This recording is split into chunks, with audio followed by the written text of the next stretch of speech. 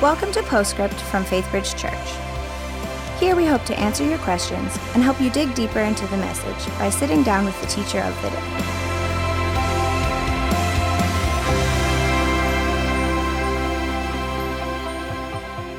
Hello, my name is Adam McIntire, and I am the high school pastor here at Faithbridge. And I am sitting with Pastor Ken, who just gave an incredible sermon on suffering. Pastor Ken, thank you so much for being here. Sure, thank you. So, uh, I love the sermon, and I have a few questions uh, from it. Do you think that as Christians, we should expect more suffering because of our call to go out into the world and into the darkness? Sure.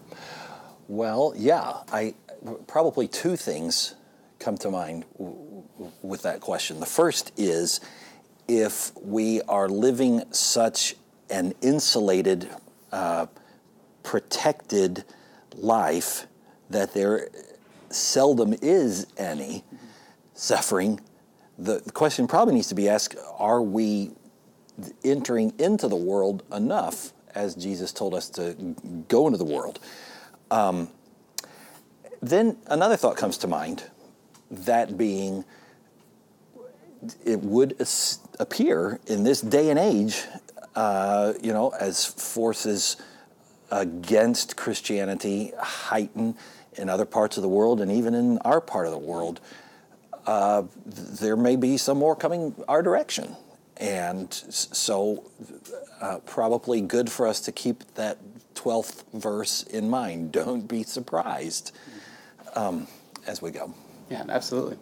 And in your sermon, you gave uh, three different observations of the First Peter text that you went through, and in your second observation, uh, it was obedience, and that uh, we need to be obedient even in the midst of our suffering. And then you told an incredible story about Leslie and Tim, and, and Leslie having to suffer through a very difficult divorce. Um, but as a result of her faithfulness in the midst of that suffering, her father actually saw the gospel come alive in her life. And so, my question is what is it about obedience and faithfulness in the midst of suffering that helps to make the gospel come alive for others to see? Yeah, it, well, it's the winsome witness. It's the authenticity. It, it is the, the, the realization that onlookers have that the pure metal is really what characterizes your life, not the dross. We've seen people who suffer and they just their life just tanks, and there's nothing inspirational about that at all. It's it's pitiable. But when we see somebody who who is anchored in their faith, there is a, a genuine uh, winsomeness and authenticity that is contagious and inspiring, and draws us towards them. And and what what is it? Well, it's all of those things. It's it's uh, in Philippians. It's the peace that surpasses all understanding. We see how could you be peaceful? That makes no sense to me whatsoever. It surpasses all understanding what you're demonstrating, and so I think all of those things rolled in together uh, make f- for a very compelling witness. That's great.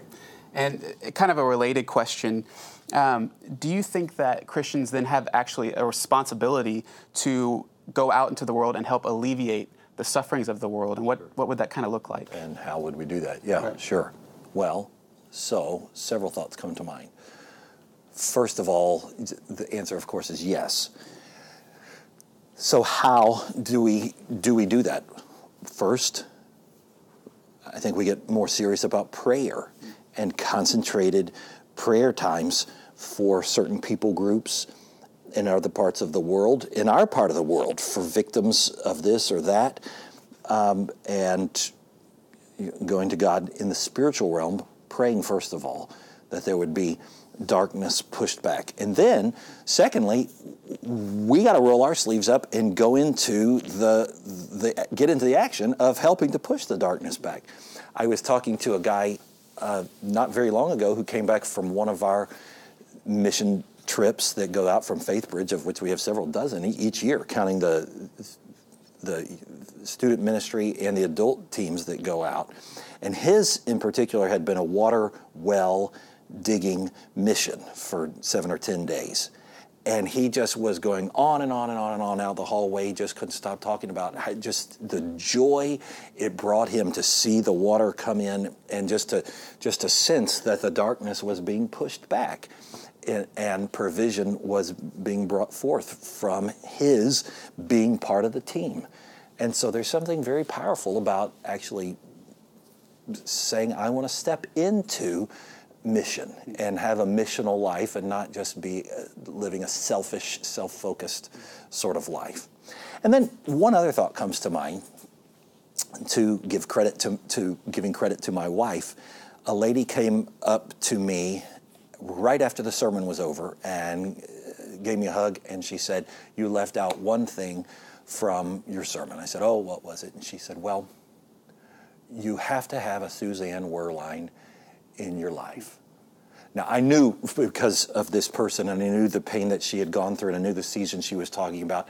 And she said, You know, Suzanne, when, I, when my faith was really fragile and I just wasn't really sure, Suzanne was always there speaking words of reassurance and love and comfort and uh, holding me while I cried.